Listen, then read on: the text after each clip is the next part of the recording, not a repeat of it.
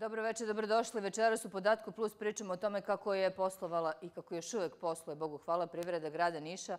Videli ste prethodnih dana da su najviše pogođeni turistički poslenici, ljudi koji se bave ugostiteljstvom takođe su poprilično pretrpeli u ovim mesecima koji su iza nas. Vidjet ćemo šta će nas čekati do kraja godine i naredne godine kada stigne ta famozna vakcina. Hoće li se stvari bar u ekonomiji i u privredi malo dovesti u red? Kako je poslovala privreda čitavog okruga koje pokriva regionalna privredna komora u Nišu. Večera sa našim i vašim gostom Aleksandar Milićević, direktor RPK. Dobroveče, dobro nam došli. Dobroveče, bolje vas našao. Kad sad podvučemo crtu od prilike, prošlo je već poprilično meseci, boga mi od marta pa na ovamo, e, koliko je stradala privreda na teritoriji koju vi pokrivate?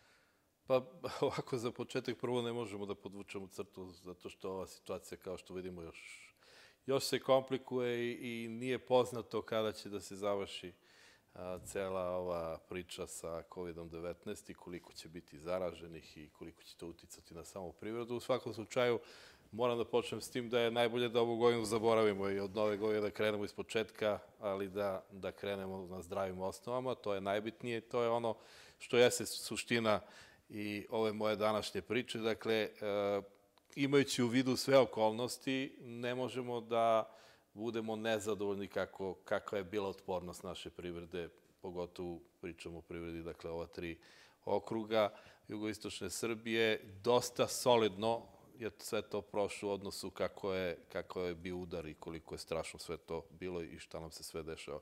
Dakle, najbitnija stvar je da su fabrike opstale, u ovom trenutku, dakle, rade skoro sve proizvodne velika postrojenja, kako strana, tako i domaća. E, nema velikih žarišta, uprkos glasinama i svemu ono što, što ste morali da čujete i poluzvanično i nezvanično nema nekih ozbiljnih zarišta po, po velikim firmama. One su rizične, naravno, zato što se tu prosto skuplja veliki broj ljudi. Ako uzmete, jedan Leoni ima 8300 radnika samo u tri pogona na, na jugoistoku Srbije. Ako Tigar Tires, recimo, u Pirotu ima oko 3800 radnika.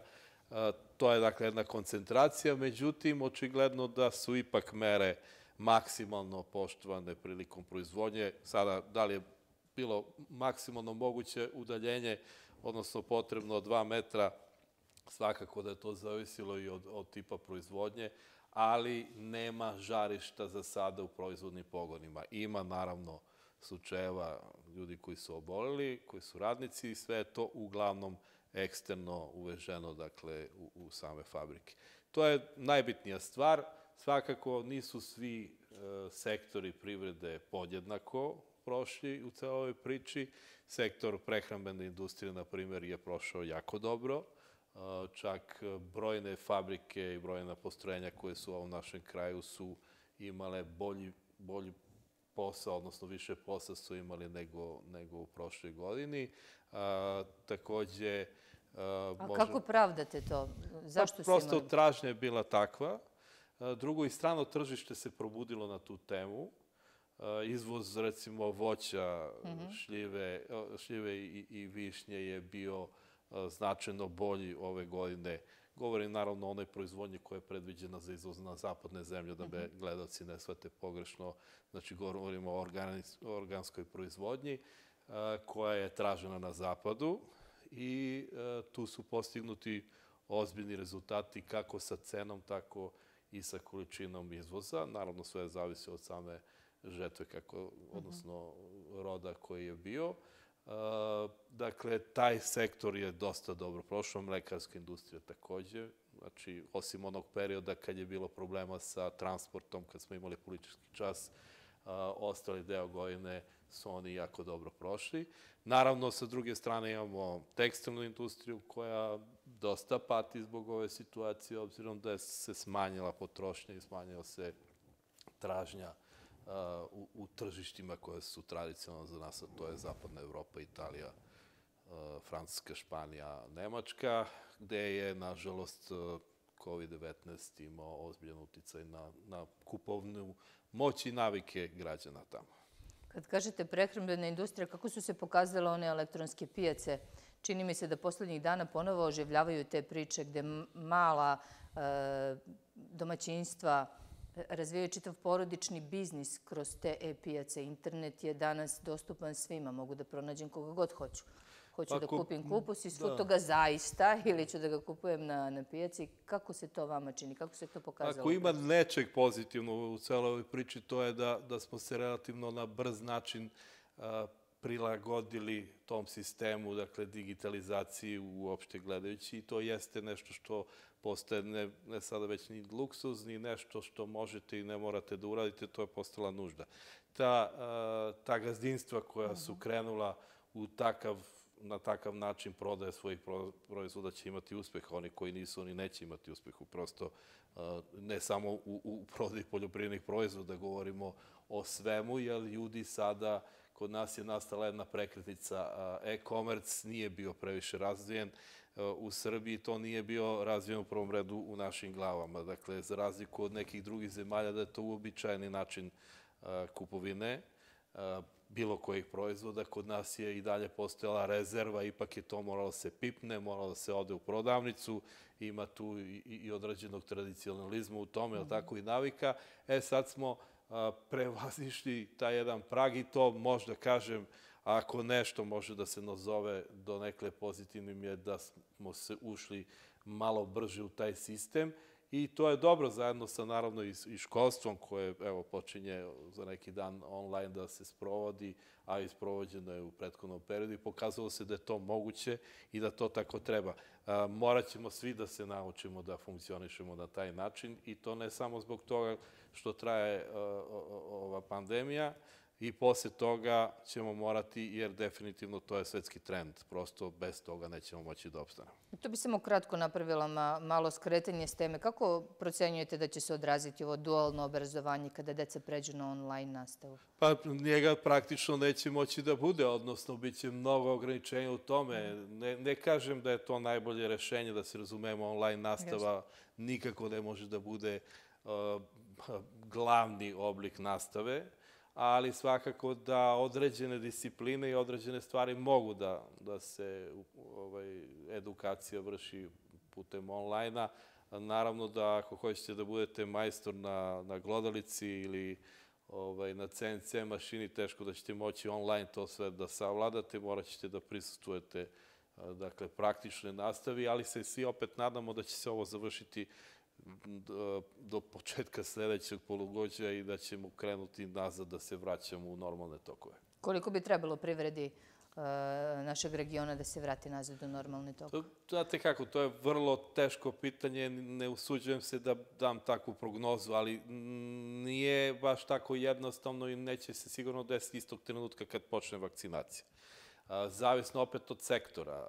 Trenutno imate situaciju, to, to znam da su recimo fabrike koje su u automotivnoj industriji, odnosno koje proizvode uh -huh. delove za automobile ovde u našem regionu prezauzete, da imaju mnogo veće naročbe nego prošle godine. Što je interesantan paradoks. Možda je to rezultat inače jednog opšteg trenda rekao bih, na, na globalnom nivou. Nekada ste imali onu situaciju global to local gde je proizvodnja bila negde tamo u Kini ili na kraju sveta, ali tako, gde je jeftina radna snaga, gde, gde, gde, gde, gde, gde se proizvode velike serije jednog proizvoda i onda se to uh, nekakvim kontejnerima, brodovima dovlačilo na glavno tržište, a glavno tržište na svetu apsolutno je Evropska unija, dakle sa 700 miliona stanovnika i velikom kupovnom moći.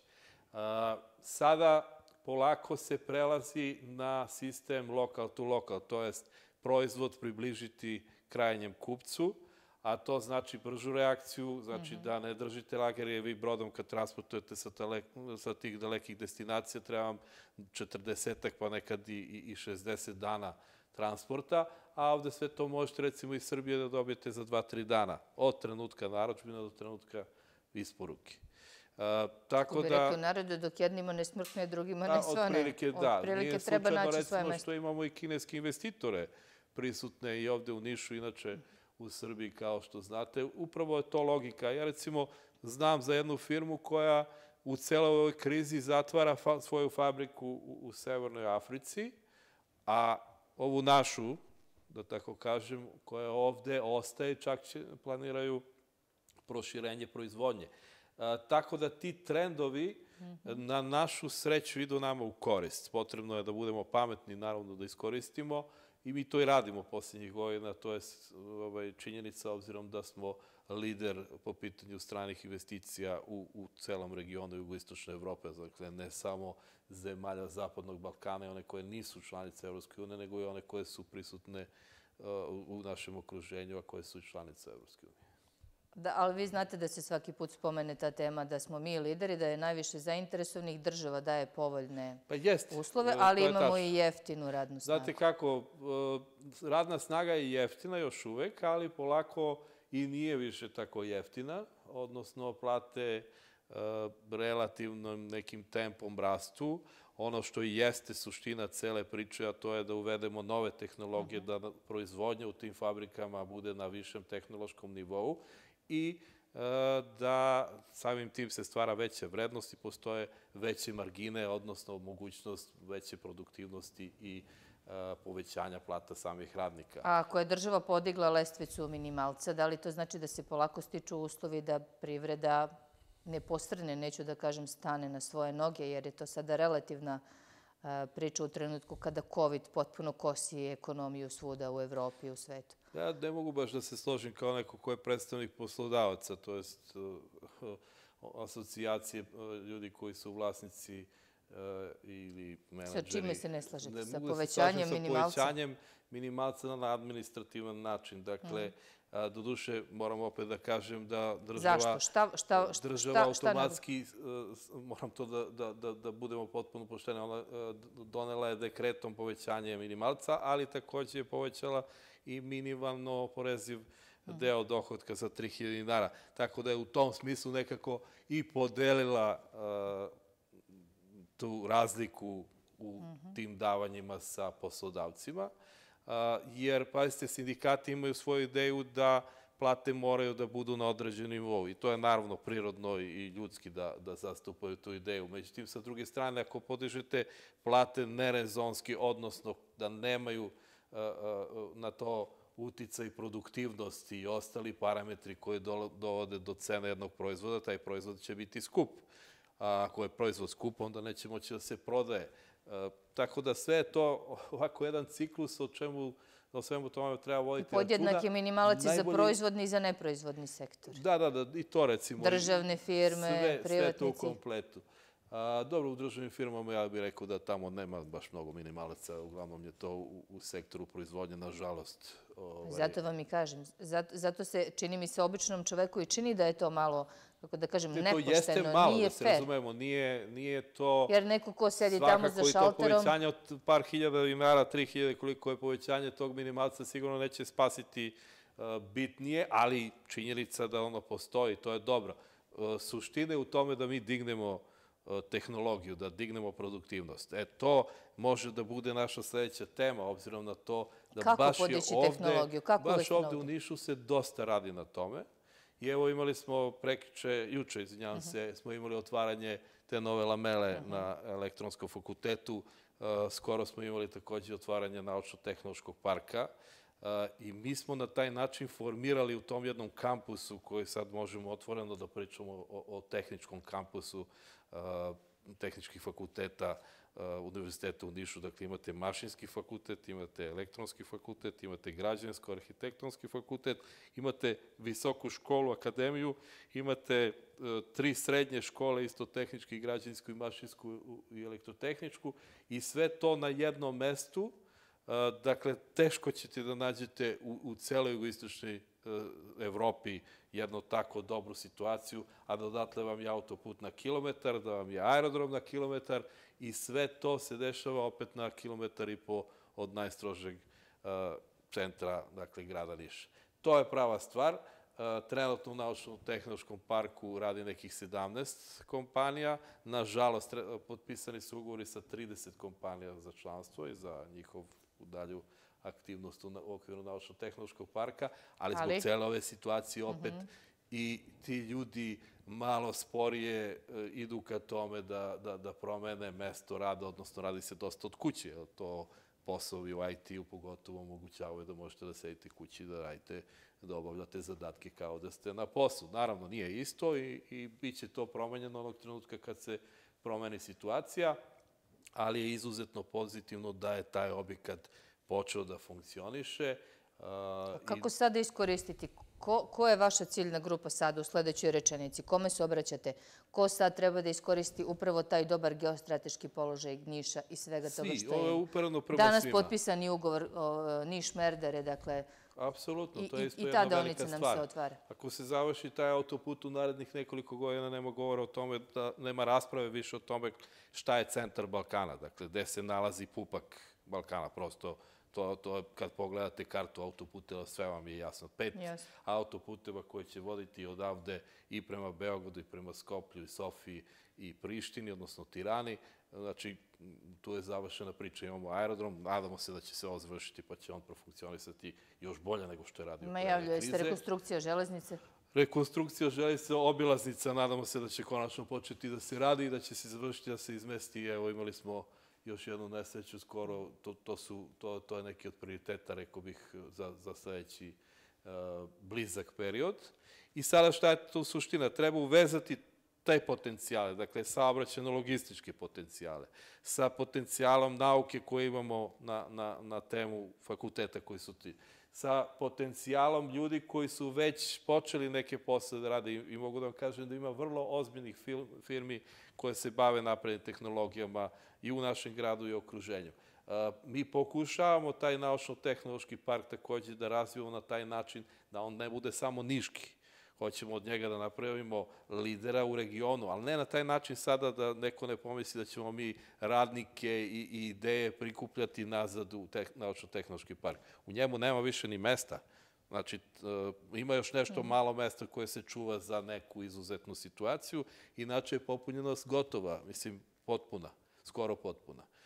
hoćemo da firme koje su van Niša, recimo iz Prokuplja, iz Leskovca, iz Vranja, iz Pirota i tako dalje, da im damo servis odavde iz Niša i da imaju mogućnost i pristup svim podacima i svim mogućnostima za finansiranje, recimo u inovativnom delu oko, oko pronalazaka, oko novih načina proizvodnje i unapređivanja proizvodnje, da imaju pristup svemu tome odavde sa svetskim i domaćim, naravno, resursima kako bi mogli da dignemo upravo ovo A čemu ko je, čiji je posao da uveže sve to? Evo sad Pa upravo to, to je posao i Privredne komore, i Naučno-tehnološkog parka, i univerziteta, i grada, naravno, koji stojimo svi iza, iza cele te priče. Kakva je saradnja komore sa svim tim institucijama koje ste spomenuli? Apsolutno, ja sam potpuno zadovoljan. Ovaj, evo, juče smo imali priliku da vidimo otvaranje lamele i ta lamela je grandiozna, ona ima, slagaću vas, mislim, 7000 kvadrata korisnog prostora. A, u jednom delu, na celom jednom spratu je predviđeno upravo da se taj neki nastavak onoga što se radi na naučno-tehnološkom parku, a to je da se pomešaju privreda i nauka i da iz toga izrode nešto komercijalno, nešto visoko-tehnološki, što će donositi visoku zaradu.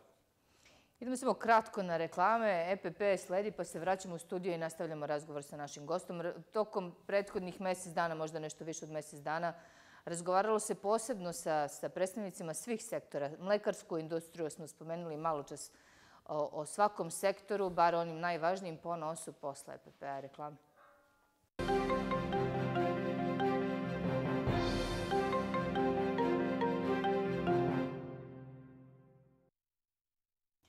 Evo nas ponovo u podatku plus Aleksandar Milićević, direktor regionalne privredne komore Niš, naš i vaš gost. Pričamo o tome kako je poslovala privreda na teritoriji koju pokriva regionalna privredna komora. Tri okruga su u pitanju.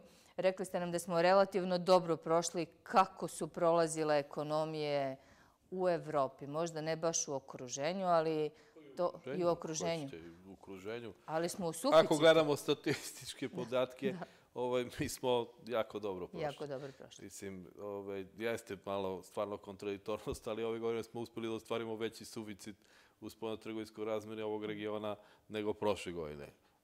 a to naravno postoji logično objašnjenje iz prostog razloga, zato što je sam izvoz pao jako malo za par procenti poena, dok je uvoz pao za oko 14 procenata. I to je verovatno opet dobra stvar s druge strane, jer govori o tome da je više korišćeno unutrašnjih resursa. Imali smo prilike da vidimo da nas je ova situacija naučila da u trenutku kad smo ostali sami, odnosno kad je počela cela ova priča da se razvije i kad, kad su svi počeli da se zatvaraju u, u, u svoje granice, pa čak ako hoćete u početku i, i, u Evropskoj uniji, počelo je da nedostaje, ne znam, kvasca, alkohola i tako dalje. I onda se ponovo aktivirale neke privrede, odnosno neki, neki pogoni koji su ponovo počeli da proizvode te stvari. Tako da, eto, neke, nekih, makar smo se podsjetili šta sve može da nam se desi zašto je bitno da imamo uh, jaku domaću industriju. Mislim da to jeste suština i ono što je takođe jako dobra stvar je da je domaća privreda ipak pokazala ozbiljnu snagu, odnosno otpornost prema ovakvim stresnim situacijama. Brzo smo se snalazili i čini mi se da smo bolje ipak i u tom prošli u odnosu i na okruženje i na druge neke zemlje. Spomenuli ste samo predstavnike mlekarske industrije. Vi ste razgovarali i sa njima e, sa predstavnicima tekstilne industrije, da, pa metaloprerađivačke smo, delatnosti. Dakle... Iskoristili smo ovaj period kad je bilo relativno nizak nivo uh mhm. Zaraženosti, odnosno kad, kad je bilo dozvoljeno... Šta su vam rekli? Kako, kako da su prošli prethodni? sastanci? Pa, u prilike, cela, cela priča se vodila oko toga kako prevazići ovu trenutnu situaciju. Mi imamo i drugih problema, da se razumemo, koji nas čekaju odmah po završetku ove pandemije, a to je nedostatak radne snage, to je razne situacije vezane za finansiranje privrede, za, za administrativne probleme koje imaju i u našem gradu i, i u, na nacionalnom nivou Privredna komora i mi ovde u regionalnoj Privrednoj komori smo došta radili na tome sa prethodnim sazivom gradske vlasti. Nadam se da ćemo nastaviti sličnu priču i još bolje. Gradonačelnica je najavila prvog dana kada je postala gradonačelnica, bar ovde kod nas, a i vidim da je to u, u jednom trenutku bio i prioritet, razgovore sa privrednicima. Bilo je toga, da, naravno. I da se ubrza ta procedura oko odbijanja dozvola e, i za građevinski sektor, ali i za e, privredu. Jeste, da li ste pa, pričali pa, o tome? Ima tu Kako mnogo problema koji su zaostali i koji nisu rešeni. Ova gojena je prošla tako kako je prošla. Mi imamo situaciju, recimo, da nam je grad trenutno pun vozila. Uh, ne znam da ste primetili, od kako su postavljene naplatne rampe u gradu, ja moram tako da kažem, vozila prolaze kroz grad, je tako? Ne samo vozila putnička, nego i neka teretna. Vi imate, nije bilo pre toga gužve u gradu u petak ili radnim danom oko 4 sata. Dana Sad je svakog dana, Od 4 do pola 6. Apsolutno povećanje gužve. Znači, situacija sa, sa zagađenjem je nesnosna, tu nešto mora podhitno da se uradi. Prošlo je više od decenije i ništa, ili skoro ništa nije urađeno po pitanju izgrađivanja sekundarne gas, gasifikacijone mreže. To je nešto na čemu podhitno mora da, da se krene, da se radi vrlo ozbiljno. Uh, imamo, ako hoćete, u vezi sa građevinarstvom inicijativu koja čeka još od, od negde početka ove godine, to je podizanje spratnosti, generalni urbanistički plan grada Niša predviđa maksimalnu spratnost od šest spratova za uh, mešovite objekte, odnosno stambeno-poslovne, a samo tri za poslovne objekte. Dakle, ako hoćete da dižete hotel u gradu, da pravite novi hotel u gradu, on je poslovni objekat, moći će da bude Jel to zavisi od zona grada ili zavisi apsolutno, apsolutno u celom gradu? Grad? Trenutno važića odluka, trenutno važići generalno turistički plan, mislim, 2008. godine, uh je ta, ili devete, je da je maksimalna pra, spratnost grada u Nišu 6. To nije uh, normalno, jer gde god da se okrenete, ne samo da pričamo o Beogradu, ako pričamo i o Novom Sadu, i o, i o Kragovcu, i o Subotici, nigde tako nešto ne postoji.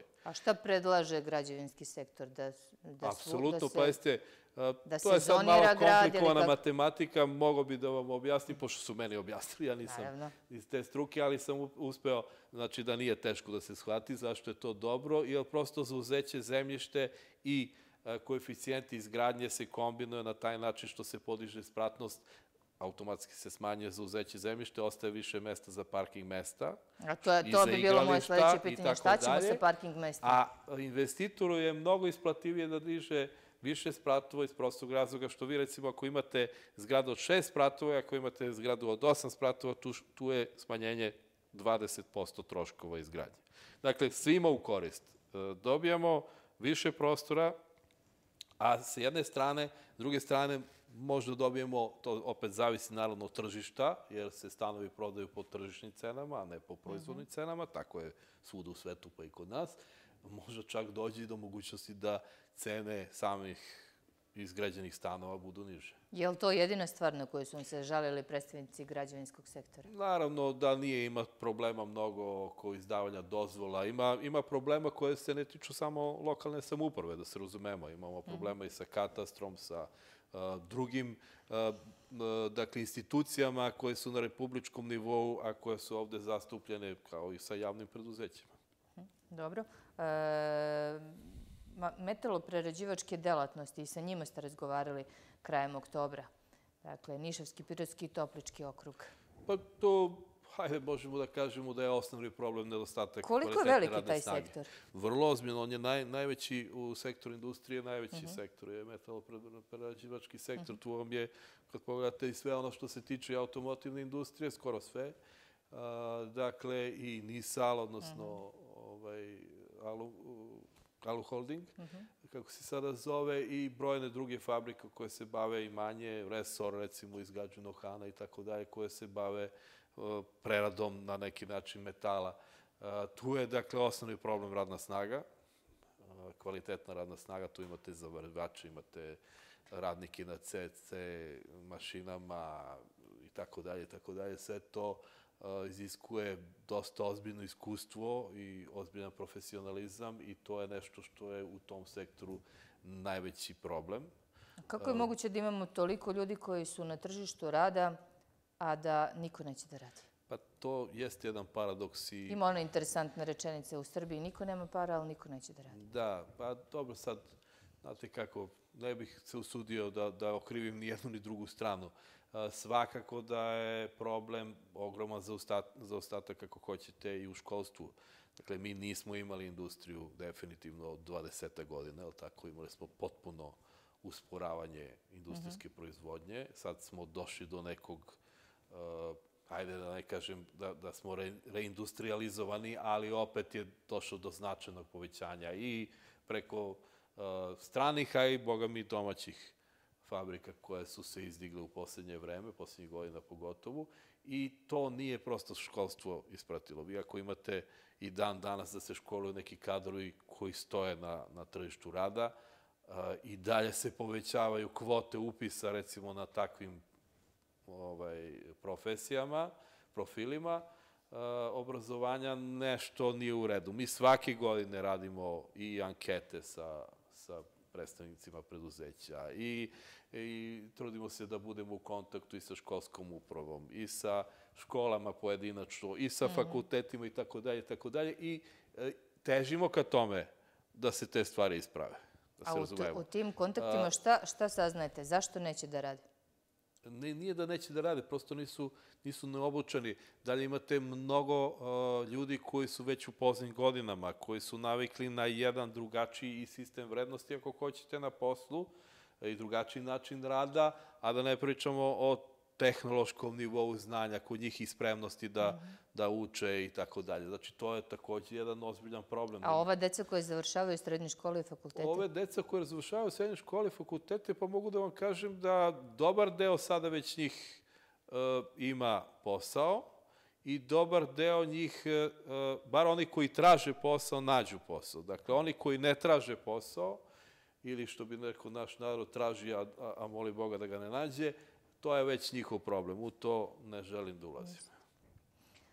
E, I šta ste rekli? Dakle, oni su za sada, njima je najvažniji problem taj... To je, radna snaga Radna je snaga. broj jedan uh, problem što se tiče tog proizvodnog sektora, pogotovo u metalskoj industriji. Tu su deficitarna, mislim, ima toga i u drugim sektorima, u građevinskom recimo takođe, ali u tom sektoru to je svakako najveći problem.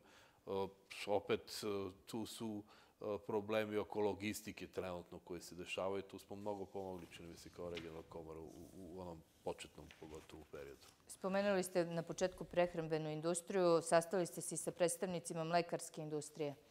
Pa tu je Kako dosta su dobra oni uspeli situacija. da se održe u ovim vremenima? Dosta dobra situacija i mislim da i, znate, e, mleko se u Srbiji uvozi i to je jedna činjenica. Zbog svog kvaliteta... Dakle, uvozimo mleko.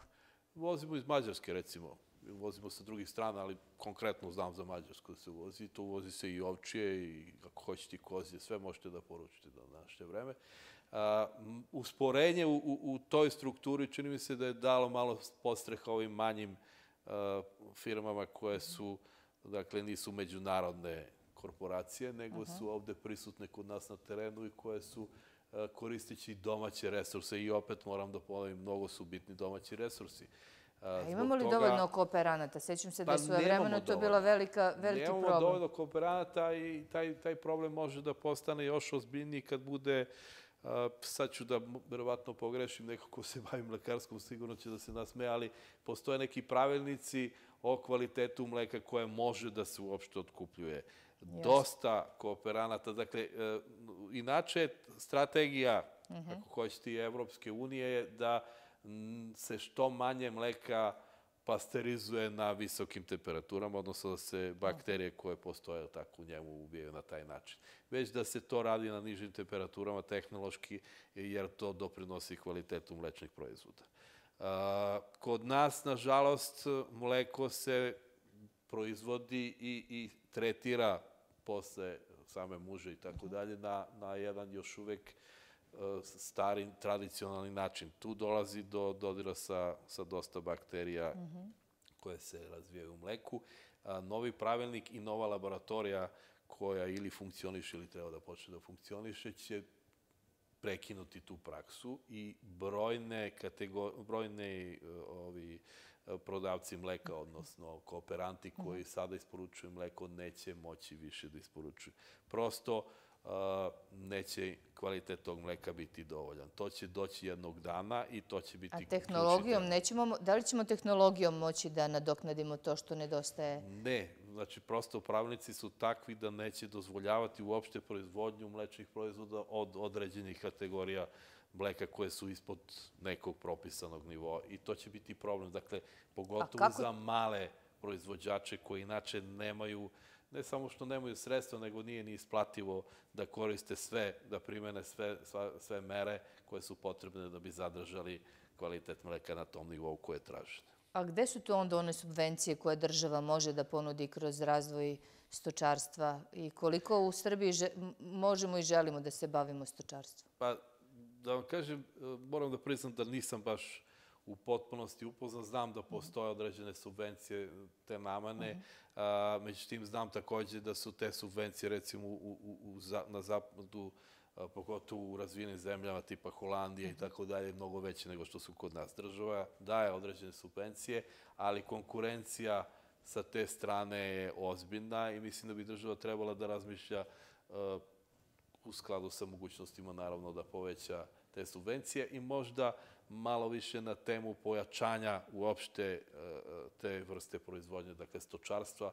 Mi imamo ovde strašne rezerve, a, to s druge strane uopšte nije lak posao. Prirodne potencijale. Znate, kad se bavite biljnom proizvodnjom, da li ćete baš tog dana da izađete da isprskate neko voće ili ne, može da bude bitno, ali ne mora, ali i kravu i, i bilo koju životinju morate da nahranite i morate da izmuzete i tako dalje. Znači, nema, nema pauze, prosto ne postoji mogućnost da, da taj dan se odmarate. Onaj ko se bavi životinskom proizvodnjom, a, stočarstvom, taj nema sat ovaj, mira, da tako kažem. Tako da uopšte nije lak posao i zbog toga se ljudi mnogo teže odlučuju na tako nešto, a mislim da, da je to nešto što moramo da ojačamo ovde Pa koliko onda privredna komora i, i regionalna privredna komora i, e, regiona, e, i e, Republička privredna komora i e, regionalne privredne komore mogu da utiču i na ministarstvo i na državu da malo, kako da kažemo, e, promeni pristup tom malom kooperantu, tom proizvođaču koji će možda odlučiti da živi negde, pa dobije subvencije, pa čuva stado ovaca, čuva stado krava, Evo, ljudi se vraćaju u prirodi, dakle, i to je jedna od, e, kako da kažem... Jean-Jacques Rousseau. da. da. Pa, nadam se da nam to nije jedina nada za razvoj poljoprivrede. Naravno, to što naravno, će ljudi otići Nego iz grada koliko selo, može, pošto ne očekuju da će koliko biti može, previše. koliko mogu Pa komore dobro, to jeste naša da uloga, da, se da razumemo. ministarstvo. To jeste naša uloga i mi pomažemo dosta i utičemo dosta i IPART programi koji su aktualni Evropske unije takođe e, mi, mi pružamo uslugu oko toga i trudimo se da prenesemo. Kako su komšije rešile to? Imate iskustvo? Pa dakle, nemamo baš neko mnogo dobro pozitivno iskustvo iz regiona, da se razumemo u tom Ne, delu. Ne zašto? pričam sad samo za, za zemlje bivše Jugoslavije, nego i za zemlje koje su u Evropskoj uniji, kao što su Rumunija, Bugarska, pa ako hoćete čak i Grčka i, Kakve su njihove i Hrvatska. Pa smanjio se stočni fond i kod njih i to značajno se smanjio u proteklim decenijama koliko su bili u Evropskoj uniji. Uh, mislim da zemlje koje su A na što se glavne sada u ide? Na tom veliku, ve- poslu- veliku serijsku proizvodnju, kao što su veliki prerađivači i proizvođači? Previše toga je ostavljeno tržištu ipak. Uh, ja sam prvi koji se zalaže za, za liberalizam u tom delu, ali ipak mora da postoji nekakva granica. Uh, neke zemlje su prepoznate od strane Evropske unije, a i sama Evropska unija je strukturirana tako da ipak imate zemlje koje su lideri, bez obzira što oni tvrde drugačije. I neke zemlje su se postavile, kao što su Francuska, kao što je Holandija i tako dalje, možda Nemačka donekle, se se postavile na takav način da oni su glavni proizvođači, recimo konkretno mleka i mlečnih proizvoda. Njihovo mleko je značajno jeftinije nego recimo grčko mleko i kada odete u prodavnicu, a, a, a, a ovaj, kamoli u samoj procesu proizvodnje, i onda... Dobro, Grci baš onda- nemaju neke pašnjake za Pa ispašu. nemaju pašnjake, ali su bili tradicionalni po pitanju, recimo, uh, gajanja ovaca. Da. To, to svi znamo i, i grčko kiselo mleko je Naravno. vjerojatno najbolje kiselo mleko na svetu, to nema govora. A nema više kiselog, nema više mleka u Grčkoj. Mislim, e, to što sada trenutno koristimo dobrim delom dolazi sa neke druge strane. Je li to ta podela poslova u Evropskoj uniji? Jeste, nažalost to je tako. Ja se iskreno nadam da će i ova situacija doprineti da se malo drugačije razmišlja na sve teme, pa i ovo. E, možda jeste bilo malo daleko, ali dakle tamo negde početkom oktobra privrednici su se sastali i sa a, inspektorima, predstavnicima inspektorata. Tu ste takođe posredovali u toj komunikaciji. E, Pa kako to je, je, to mnogo proteklo? bitna stvar, da se razumemo, to je možda jedna od najbitnijih stvari. Inspekcije, inspekcijske službe moraju da prestanu da deluju represivno. Moraju da počnu da rade na tome da ljudima objasne šta je to što ne treba da rade. Naravno, oni koji se bave kriminalnim stvarima apsolutno treba da odgovaraju za to. Ali mi kao Privredna komora recimo zastupamo jednu ideju bele liste. Bela lista je ona lista koja bi kod inspekcija, različitih inspekcija, bila firme koje nemaju prekršaje u posljednjih recimo dve godine, a bile su kontrolisane, nema potrebe stalno maltretirati ljude na tu temu. Znate, inspektor radi svoj posao. Radeći svoj posao, on nas svakako ometa onu klasičnu, da kažem, funkcionisanje jedne firme. To je prosto neminovno, to je tako, zbog prirode posla. Vi morate da se posvetite tom inspektoru, morate da mu donesete dokumenta i morate da obezbedite značajne resurse da bi uslužili tog inspektora koji radi svoj posao, naravno. Ali zar to i nije uloga inspektora da Pa proverava jeste, ali poslovanje? zašto kontrolisati tri puta jednu firmu za koju se zna da je ispravna? Kontrolišite je jednom, recimo, u nekom periodu. Treba napraviti takvu vrstu lista, odnosno takvu vrstu planova kontrole. Ako imate situaciju u kojoj je neko stalno kažnjavan, njega kontrolišite, nema problema. Ali onaj ko ne pravi probleme, njega nemojte da dirate, pustite čoveka da radi. Jel- To je u opštu korist. To su bile glavne primetbe Pa privrednika. dobro, ne, htio sam da kažem, i taj susret između inspektora i, i privrednika je upravo imao to za cilj, da podignemo nivo prevencije, da podignemo, jer pazite, ipak susret u- u jednom takvom ambijentu kao što je prirodna komora je svakako mnogo prijatniji za privrednike nego kad, Nego kad da idu dođu u inspektori. inspekcije Naravno. ili moraju oni da idu u njihove prostorije. Tako da to jest ideja, nažalost, ova se zaustavila. Mi smo otprilike dva puta godišnje pravili takvu vrstu događaja i to sa raznim inspekcijama, ne samo sa onim iz, iz Poreske uprave, nego iz uh, inspekcije rada i ostalih inspekcija tržišne i tako dalje. Stižemo polako do kraja, dakle, mm, da biste nastavili da e, širite svoje članstvo, da se tako kažem. Prosvetite se. Da, da, da. Organizovali ste i program za početnike u biznisu, start-up program promocije preduzetništva i samozapošljavanja. Kako je interesovanje? Jako veliko. Dakle, otprilike je planirano, sad slagaću vas, ali planirano je, e, znam da je oko 10.000 radnih mesta planirano da bude samim subvencijama i samim tim projektom, međutim mislim da i ukupno negde oko 20.000 prijavljenih, tako da biće Duplo problema, više. ali e, dobro je da se to desilo. Sa druge Mhm. strane se očekuje da, da će biti ponovljen ovaj program naravno sledeće godine u nekim boljim okolnostima, nadamo se. E, dokazano je dakle da postoji potreba za nečem što je prva šansa. E, da vas podsjetim, dakle, 9 meseci plate isplaćuje država minimalno, odnosno nije minimalni lični dohodak, nego raz, različito je od nivoa obrazovanja. A, tako da je to veliko olakšanje za samog onog ko traži radnike, a velika pomoć onom ko traži posao, obzirom da stiče prvo znanje, jer mnogi traže ljude, radnike sa iskustvom. A, teško ćete e, bez ikakvog iskustva dobiti dobar posao. Naravno, možete da dobijete neki posao, ali to nije to. Ali složit ćete se da negde vašom- mora da se počne. i mora da se počne definitivno. Mislim da e, dobra stvar, vidjet ćemo kakvi će rezultati konačni bili nakon, biti nakon isteka tih devet meseci, ali se nadam da će broj e, ljudi koji će ostati u tim firmama na poslu i kasnije biti veliki. To je onda, su, onda smo pobedili. Rekli ste na početku nećemo da podvlačimo crtu, još će ovo trajati. Imate li neka predviđanja za narednu godinu, neke planove, šta će komora raditi ukoliko je to uopšte zahvalno pitanje sada pred kraj ove 2020.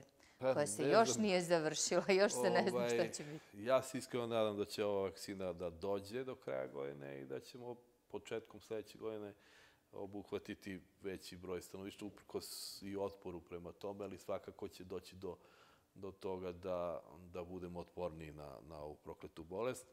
Uh, Kako su svetska kretanja u ekonomiji? Vi, Znate vi kako, to bolje pratite. ako Koliko se smo za izgubili, nas smo da- zaustavi, za 10 meseci možemo da očekujemo da se vratimo negde na neki kolosek.